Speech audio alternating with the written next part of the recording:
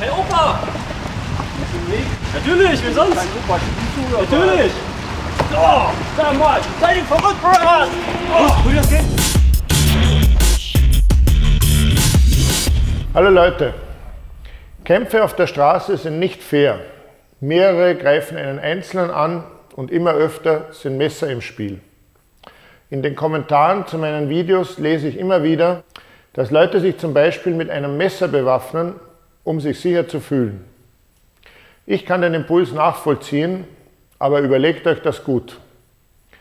Wenn ihr euch auf einen Messerkampf einlasst, ist die Chance hoch, dass ihr oder der Angreifer dabei zu Tode kommt oder schwerste Verletzungen davontragt. Von rechtlichen Folgen ganz zu schweigen. Außerdem gibt es ein weiteres Problem. Führt ihr ein Messer bei euch und geratet in eine Schlägerei gegen einen unbewaffneten Angreifer, kann es sein, dass ihr im Stress überreagiert und die Waffe einsetzt. Dann habt ihr ein Problem. Denn entweder handelt ihr konsequent und macht euch unglücklich, weil ihr im schlimmsten Fall ein Menschenleben auf dem Gewissen habt. Zögert ihr, entwendet euch der Gegner vielleicht das Messer. Ein Albtraum. Das ist aber gar nicht nötig, denn ich habe eine gute Nachricht für euch. Ein Drittel des Jahres könnt ihr euch ganz legal bewaffnen. Denn in Deutschland haben wir nämlich durchschnittlich 121 Regentage pro Jahr. Ich spreche von einem Regenschirm als Behelfswaffe. Wie kann man diesen zur Selbstverteidigung einsetzen? Funktioniert das auch, wenn ich körperlich nicht so fit bin? Und was muss ich beim Einsatz beachten? All diese Fragen beantworte ich in meinem heutigen Video.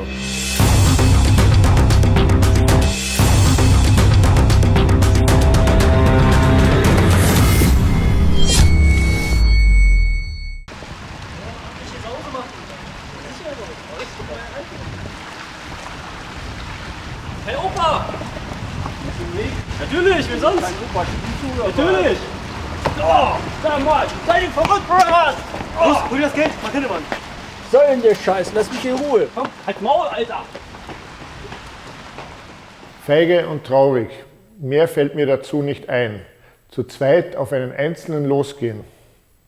In meinem Video zur Verteidigung gegen mehrere Angreifer habe ich ein Phänomen bereits angesprochen. Mitläufer werden oft erst aktiv, wenn Opfer am Boden oder sichtlich wehrlos sind. Das deckt sich mit dem Geschehen in diesem Video. Täter suchen Opfer, keine Gegner. Die beiden jungen Männer sehen in dem Herrn keine Bedrohung, denn dieser ist mittleren Alters und alleine unterwegs. Man sieht auch deutlich, Aggressor Nummer 2 bleibt immer ein Stück weit zurück. Erst als sein Kollege das Opfer tritt, wird er mutig und stößt den? Mann von hinten zu Boden. So wie das Opfer steht, hat er keine Chance, diesen Angriff etwas entgegenzusetzen. Er hätte wohl nicht damit gerechnet, dass die beiden so weit gehen würden, denn wir haben gesehen, dass er sie bereits frühzeitig aufgrund der lautstarken Rufe aus der Ferne bemerkt hat. Er beschloss jedoch, weiterzugehen, statt stehen zu bleiben und die beiden so im Blick zu behalten. Was aber hat das alles mit unserem Thema heute zu tun? Habt ihr mal auf die Kleidung geachtet? Richtig, das Opfer hatte eine Regenjacke an. Offenbar hat der Mann mit schlechtem Wetter gerechnet. Unglücklicherweise hat er sich gegen einen Regenschirm entschieden. Hey Opa! Haut ab hier! Haut ab!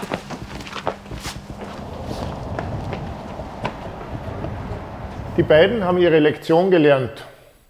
Vor allem der Angreifer hat hier die Entschlossenheit des Opfers und dessen Schlagkraft mit dem Regenschirm unterschätzt. Was hat der Mann in diesem Video anders gemacht, um sich erfolgreich zu verteidigen? Hey Opa! Zuallererst hat er sich im letzten Augenblick noch umgedreht, um die herannahenden möglichen Gegner im Blick zu haben. Und er hat zu Hause daran gedacht, sich zu bewaffnen. Zum einen gegen das schlechte Wetter, zum anderen damit auch ganz automatisch für die Selbstverteidigung. Als der Angreifer ihn treten will, kontert der Verteidiger mit einem Schlag zum Knie. Das ist nicht lebensgefährlich für den Angreifer, aber trotzdem ein empfindliches Ziel. Mehr darüber findet ihr in meinem kostenlosen Selbstverteidigungsratgeber. Ich verlinke euch den in der Beschreibung. Den folgenden Schlag des Angreifers kontert das Opfer ebenfalls mit dem anderen Ende seines Regenschirms auf den Arm. Haut ab hier, haut ab! Und auch das ist für den Täter schmerzvoll. Verletzungen, speziell Trümmerbrüche durch Einwirkungen von stumpfen Gegenständen sind verheerend. Das überzeugt den Täter, von dem Mann abzulassen. Und die von mir schon angesprochene Feigheit des Mitläufers zeigt sich hier. Als er Zeuge der Kampfkraft des Opfers wird, ab haut ergreift der zweite Aggressor die Flucht. So einen Regenschirm hat man witterungsbedingt öfters dabei, als man tatsächlich vermutet. Außerdem unterliegt er weltweit keinerlei gesetzlichen Einschränkungen und ist daher absolut legal. Er kann überall getragen werden. Um zu schauen, wie sich so ein Regenschirm einsetzen lässt, habe ich euch heute mal einige Modelle mitgebracht. Hier ein sehr beliebtes Modell aufgrund seiner Handlichkeit, der sogenannte Knirps. Der ist nicht schlecht, aber denkt dran, Leute. Wenn euer Gegner ein Messer zieht, seid ihr froh um jeden Zentimeter Reichweitenvorteil, den ihr habt. Der hier ist schon etwas größer. Ein klassisches Modell, da passt auch die Reichweite. Das Problem bei diesem, solltet ihr mit so einem Schirm im Ernstfall den Angriff eines geübten Treters oder einen Schlag mit einem Stock abwehren müssen, klappt das vielleicht nur einmal. Denn anschließend könnt ihr den hier wegwerfen. Normale Schirme sind für diese Zwecke einfach nicht geeignet. Daher mein Tipp, wenn ihr euch nicht nur gegen schlechtes Wetter bewaffnen wollt, so ein Selbstverteidigungsregenschirm hier. Der ist stabil und hält auch Einwirkungen von Tritten und Schlägen stand. Und auch die Reichweite ist dank der Größe des Schirms super. Für diesen Zweck werdet ihr kaum etwas Besseres finden. Im Ernstfall ist es ein enormer Unterschied, ob ihr euch mit bloßen Händen verteidigen müsst oder eine wirksame Behelfswaffe in der Hand habt. Bei einem Übergriff erhöht so ein Regenschirm eure Widerstandskraft enorm, denn ihr könnt damit Schläge und Tritte abwehren, anstatt mit eurem Körper. Ihr vermeidet dadurch Schmerzen und das Risiko, verletzt zu werden. Manche Gebrauchsgegenstände im Alltag lassen sich gut zur Selbstverteidigung einsetzen. Ein Regenschirm fällt nicht auf, provoziert nicht und fügt sich in jede Umgebung. Und natürlich gilt all das, was ich euch heute über den Einsatz mit dem Regenschirm erzähle, auch für einen Gehstock. Von diesem Vorteil profitieren vor allem auch ältere Menschen. Und ob Regenschirm oder Gehstock, beide bieten euch einen weiteren großen Vorteil, die Reichweite. Das kann euch vor allem dann nützen, wenn euch jemand mit einem Messer bedroht. Denn ihr wisst ja nie, ob ein Angreifer mitten in einer Auseinandersetzung ein Messer zieht. Aber auch in diesem Fall gilt, der Einsatz mit solchen Behelfswaffen muss geübt werden, damit es im Ernstfall klappt. Und natürlich müsst ihr den rechtlichen Aspekt in der Selbstverteidigung im Hinterkopf behalten. Werdet ihr mit einem Messer bedroht, ist es verhältnismäßig, empfindliche Stellen des Gegners wie den Kopf oder den Hals zu attackieren. Ist euer Angreifer jedoch unbewaffnet, dürft ihr ihn nach erfolgreicher Selbstverteidigung nicht mit eurer Behelfswaffe weiter angreifen und verletzen, obwohl kein gegenwärtiger Angriff mehr vorliegt. Mehr zu dem Thema Notwehr könnt ihr in meinem kostenlosen E-Paper nachlesen. Den Link zum Herunterladen findet ihr in der Beschreibung. Es gab in den Kommentaren zu einem meiner Videos einen Bericht eines Mannes, der von mehreren Leuten zu Boden getreten wurde. Eine lebensgefährliche Situation. Er gab an, dass er sich wieder hochkämpfen und mit einem Messer verteidigen konnte. Vor einem Gericht wurde er dann aufgrund von gefährlicher Körperverletzung verurteilt. Deshalb gilt, wenn es irgendwie geht, vermeidet eine körperliche Auseinandersetzung.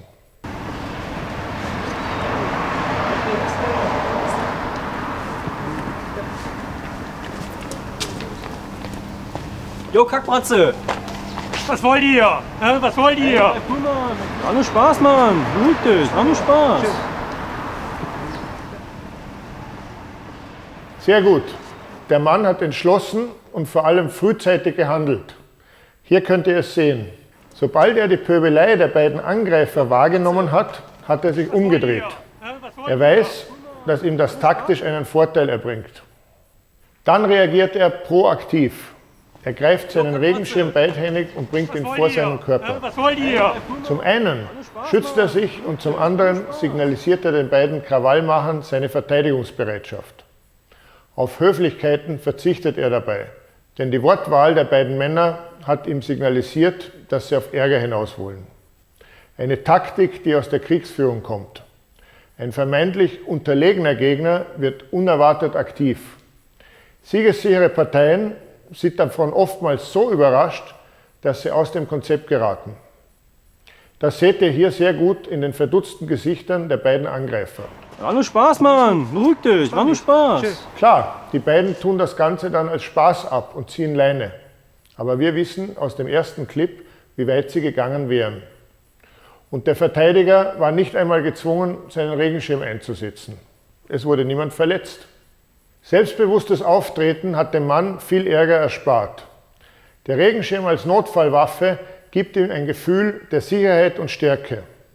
Das unterscheidet ihn vom typischen Opfer, welches die beiden Täter suchen. Kriminelle sind an einem Opfer interessiert, das sich leicht überwältigen lässt.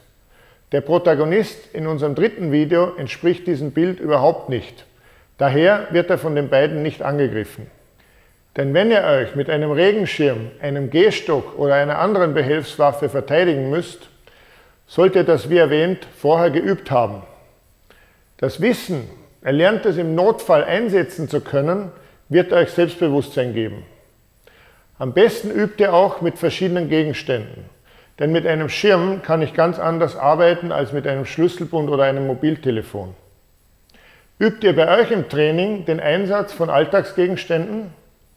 Ich freue mich hierzu über eure Kommentare und einen Daumen nach oben, wenn euch mein Video gefallen hat. Ich wünsche euch eine sichere Zeit. Euer Oliver. Wing Chun, die intelligente Selbstverteidigung. Tausendmal in Deutschland, Österreich und der Schweiz.